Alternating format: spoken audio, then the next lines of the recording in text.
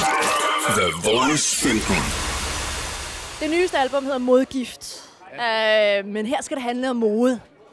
Okay. Ja. Må jeg høre, hvad har I på? Tøj. Er det rigtigt? Ja. Ja, det er det samme, jeg har forsøgt mig med i dag. Det virker indtil videre.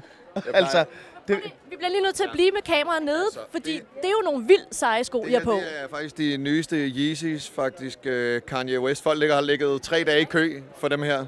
Men jeg fik dem faktisk foræret med, da jeg var i USA sidst, så jeg var rigtig heldig. Det er sådan nok det mest fashion, jeg har ejet i mit liv. Vil du selv have ligget i kø, hvis det var, du ikke havde fået dem? Nej, nej, nej, nej. Slet ikke, slet ikke. Er Altså, ikke typen til det? ikke til at ligge i kø. Jeg bryder mig ikke om køer generelt. Hvad hedder det? Ikke andet end dem, man spiser.